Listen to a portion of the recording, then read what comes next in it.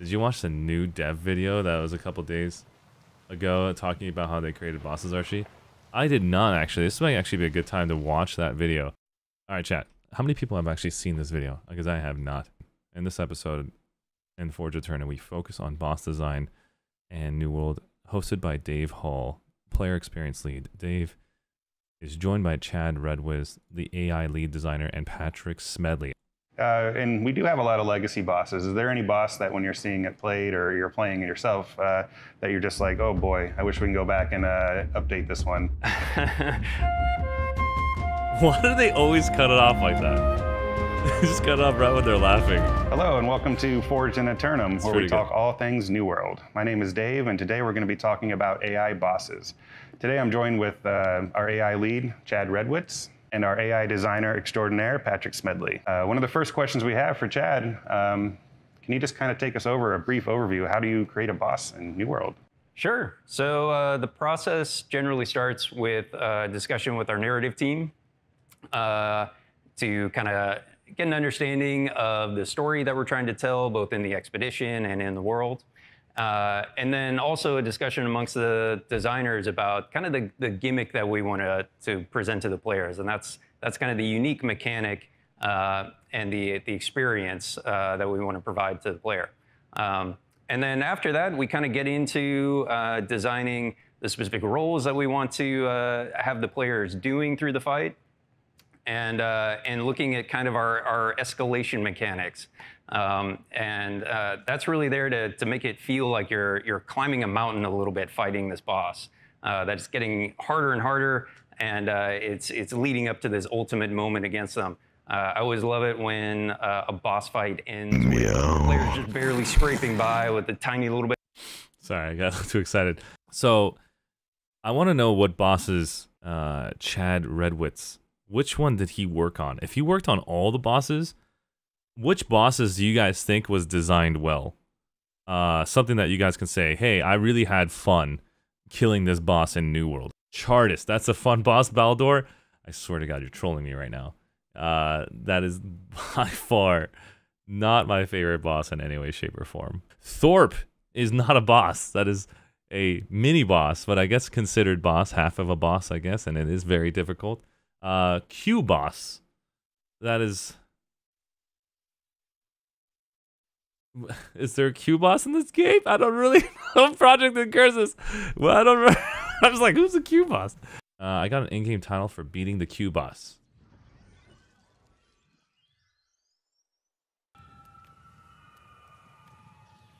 The Stoic. This title is usable by any character in your account. Showed resolve in the face of an epic wait. Got him! Got him!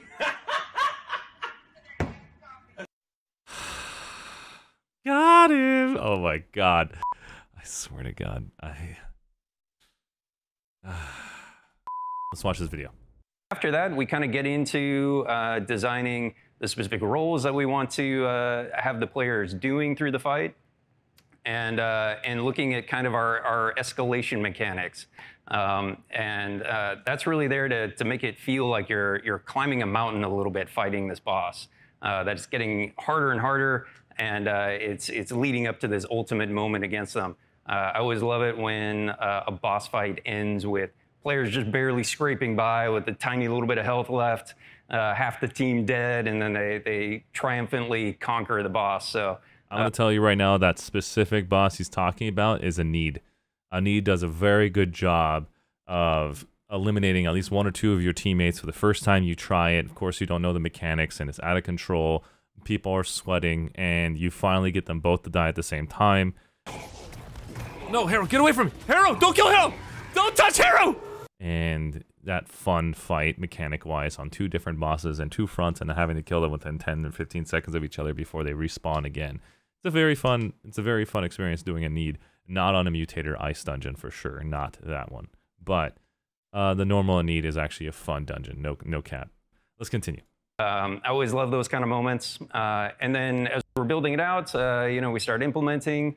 Uh, we play test a ton, and uh, sometimes you uh, you write something down on design and it just doesn't work out in practice. So uh, so you gotta you gotta adjust on the fly and, and find the fun in the fight.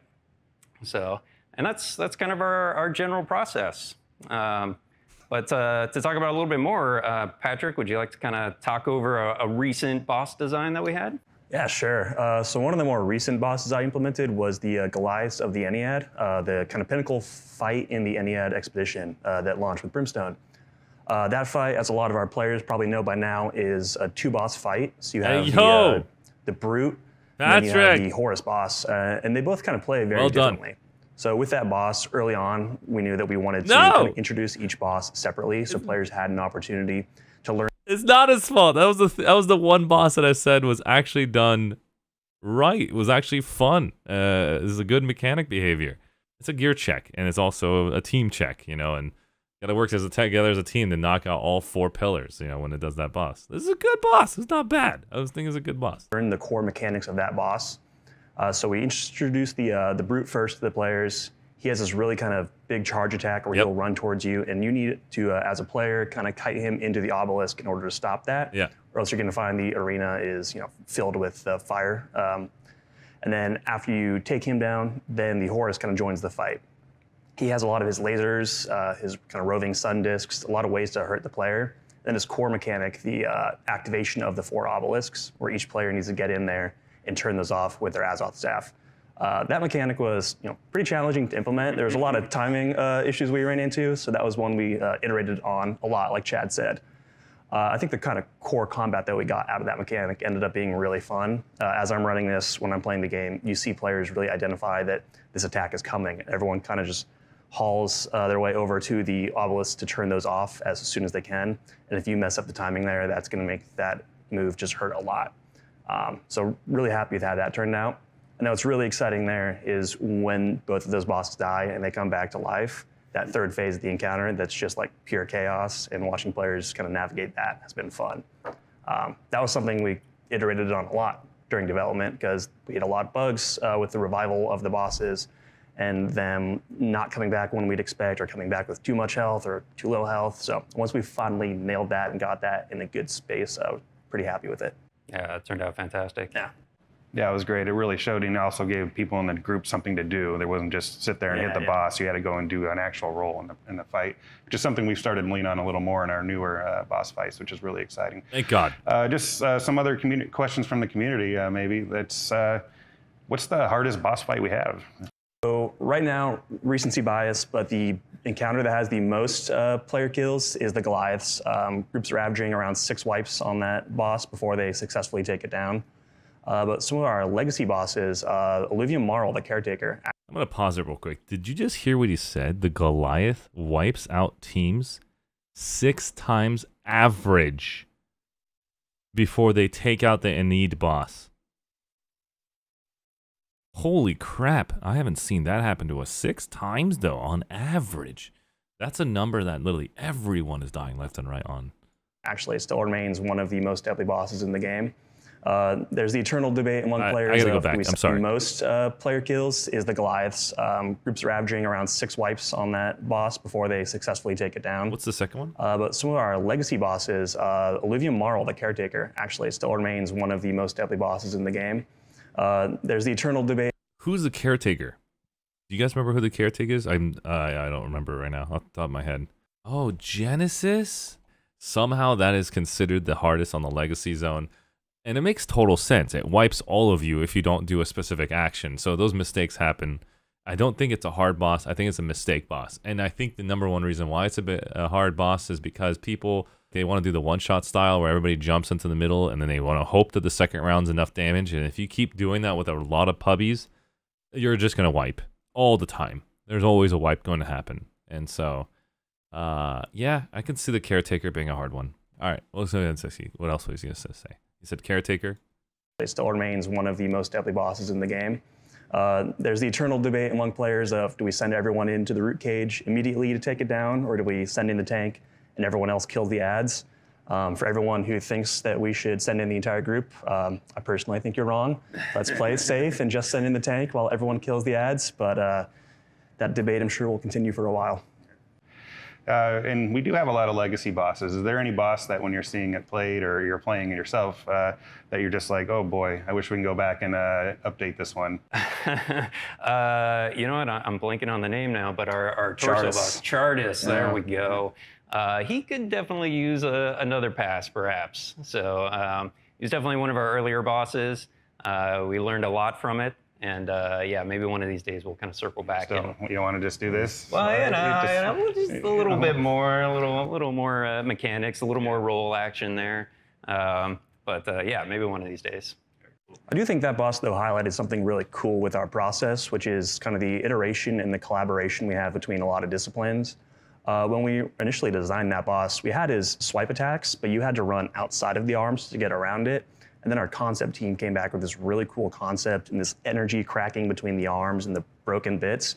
And our animator, Shogi, looked at that and goes, why don't we just break up the arm and make you run through it instead of going around it? And I think that is one of the cooler parts of the fight. And that entire mechanic came, you know, from an animator looking at a piece of art going, this would be cool. Yeah, that's that's totally true, and it's um, the the creation of a boss isn't really a linear process. Um, like I was saying, we we might start with you know looking at the lore or looking at a gimmick, but a lot of times our different departments inspire each other to do something else, exactly like that. Like the animator uh, wanting to break up bits of the arms, or um, or somebody noticing that you know that that barrel on the guy's back. Maybe we could turn that into an attack that he grabs and throws and have it explode. So uh, there's tons of room for for kind of development beyond just the initial concept. And I'm gonna pause it right there, and I want to talk to you guys about Chardis real quick. Chardis is is like they were saying, the boss in Legacy. It's in Lazarus, the final boss, needs some love, and they're gonna come back and look at it. How would you guys feel if the developers chose to um, make Chardis do like clear out times ten? And we're talking about pushes you all the way to the left and right of the walls with his arm coming across and his other arm coming across and does a huge push mechanic into the laser zones into that like you know those death zones on the left and right. You know if you get pushed in there you're dead. But then the hands break out you know like they were saying earlier. And so you can use that positioning to get through. Again it shouldn't be blocked or dodged. This should be able to push you no matter what and if you were trying to block or if you were trying to dodge, it's going to push you like almost clear out times by 10 to the sides of the walls, and you're just yeet, and you're basically now into the laser zones and hoping that you can get back without dying. Um, I think that would make Chardis more fun and less just a damage phase, just like, okay, let's get over this. And people will start panicking. They will start noticing the very beginning of Chardis that how much of a change it happened. Why are we getting sent to the sides? This doesn't make sense. It didn't do any damage to me. He just threw me to the side. Well, the one the laser fe- phase happens on the left hand side is when you start recognizing, oh my god, I'm getting melted by this laser zone. We can't get pushed anymore. Everyone panic, dodge, whatever you need to do. All right, let's continue. and it leads us to some really fun places. Uh, so we, can we talk about like our pipeline for how we get a boss from concept all the way out to our players? Yeah, sure. So uh, the process generally starts with uh, our, our initial kind of design, our pitch, as we call it, um, to other designers and our product owners um, and our narrative team uh, to kind of get buy-in on it. And if everybody's uh, excited about it and they want to progress for it, um, then we uh, we do our formal write-up and we start uh, passing it on to our other teams. So that includes our our artists who are, are building the model, our animators who are who are coming up with the unique animations uh, and uh, like our intros and deaths and stuff that's that's unique for the character. Um, and then our design team uh, starts iterating on the on the design, uh, prototyping things out, building out the abilities and the interactions. Um, and, and that progresses until we get to a kind of a playable state, and then we start doing our, our initial play tests and, uh, and just kind of really digging into feedback, uh, figuring out what's fun, what's not working, what we kind of want to lean into even more. Um, and that progresses for, for a good long while until we kind of reach a, a nice solid state um, to where we can pass it on to our, our kind of finalizing teams, which are uh, VFX and sound. Uh, and, uh, and they'll, you know, they'll come in and they'll, they'll polish up all the VFX and make it look beautiful uh, see the character in the environment itself, adjust lighting or any kind of ambience that we want to do. Um, and, and really kind of bring the character to life. And then, uh, and then after that, our QA team just hammers the heck out of it to try to find all the bugs, uh, exploits as we can find them, and, uh, and just anything that might break or kind of go wrong that we're, we're just not expecting. Uh, and that, that progresses all the way until we release it. And then, uh, and then yeah, and then we hopefully end up with a, a great product and a fun time for, uh, for the players. Yeah. Do you have a favorite part of that kind of development process where you feel like it just gets to like be the most fun for us as designers? Uh, man. So, uh, I, as designer myself, I, I love uh, just building out the character and seeing it kind of come to life in front of me. Uh, we start out with a lot of individual pieces, almost like building blocks, and uh, and we might get individual ones working, uh, but then getting them all together and seeing our phases kind of flow together and develop, and then obviously iterating on it That's and kind cool. of uh, uh, adjusting it to, to really lean into the more fun aspects. Uh, seeing that through is great. And then there's usually a little bit of gap between when we're done implementing and when we see it again after VFX has made their pass. Um, so we start with this thing that's, you know, we're really excited about and we think, wow, this looks great. And then we see the final product. I would love to see how a designer works with a product. We're talking about like very similar to a manga artist who then basically sketches out their panels with a bunch of circles to represent that's a person and then this is an attack move and this is a you know perspective viewpoint. But yeah, it would be interesting to see the process and uh and then how how it how it looks like initially and then what the final product looks like. So if they ever want to share that, that'd be pretty cool. All right, let's continue. about and we think, wow, this looks great. And then we see the final product and it just looks amazing after VFX and sound have done their pass. And uh, I really love that moment too. That's, that's really great. Yeah, it's always really exciting. Like with Nishtun, when we were playtesting it uh, with our design group, you see all these kind of white circles popping up, and it's it's cool. You know the core mechanics there are fun and challenging. Then you take that look two months later, and the VFX artists have plugged in the fire, and it goes from this is cool to holy crap, this is incredible. I'm gonna have so much fun playing this over and over again. Uh, speaking of awesome bosses, does anybody have the most exciting boss in the game? Who, who would you say that is? Exciting boss. Uh, probably one of my favorites is uh, Nishtun, our uh, corrupted Naga. Um, I always just I, I loved how that boss turned out. Uh, I think visually he's stunning. Uh, there's a lot of really fun interaction with the corrupted cores that you have to take care of, as well as the uh, the vents that are that are blowing up. Um, I think just all around that that fight just really came together really well. Yeah, I, I agree. That was a really fun one for us to design. Uh, we went back and forth with our VFX artists quite a bit on how we're going to sell the visual language of these mechanics. And the place it landed in is great. Uh, the vents, when they are charging up and then about to unleash their power, you can really tell kind of the timing of how much time you have left to get out of that area, uh, as well as just like kind of the raw power they have. Um, and the time of day shift too, when you're standing in it and it gets a little bit darker, really kind of reinforces that tell to players that like, hey, you are not standing where you need to be. You got to get out. I was a pretty big fan of the Admiral. I thought he was fun. He had a lot of different phases to him. You had to interact with the cannon and all the cannonballs shooting down on you, and he's jumping up to the higher levels and you're knocking him down. I thought there was some pretty interesting uh, stages in that fight. So I think he was one of my favorite right now. Yeah, for sure. That was a serious gimmick fight right there. We did a lot of uh, unusual things in there with the hopping in the cannons and uh, the boss jumping to the uh, the second story. Um, uh, that did turn out pretty great. It looks really cool. Um, they're talking about Barnacle's uh, boss. The, I think the first one you actually deal with, but he's super easy. Uh, maybe in Mutator he's actually a lot harder. I to check him out in the Mutator zone. All right, and that brings us to the community question. Uh, we want to know what's your favorite boss and why? What mechanic about it? What, what is the reason that you like it so much? Is it the stages or is it uh, the different roles that the players have in the fight? We'd love to know. Uh, so uh, if you want to see more of this, please subscribe and we'll be happy to come back and answer all your questions. I'm gonna pause it right there and actually answer uh, live on stream. Uh, what my favorite boss is is a need boss, uh, giving you a a role in the party. Um, if it's a five man dungeon, you made four people have a role taking down the towers, and then the tank basically holds the holds the aggro. Um, and that gave us an opportunity to actually feel like, hey, this is a five man team working together on a boss, and it requires five people to win it. Um, then you got bosses like uh, Dynasty, where everyone's got to dodge at the same time, and then if one person just doesn't know how to iframe or it has large ass ping, you're dead because of the waves are just going to delete you, uh, or, or or your positioning or whatever uh, for the final boss on Dynasty. I don't know. Like I, I would, I want more environment effects that force the team to have to pay attention to the environment and have to pay attention to the boss and be heavily rewarded for it. But yeah, that's just my thoughts. Let's go ahead and basically continue. See you later. Take care.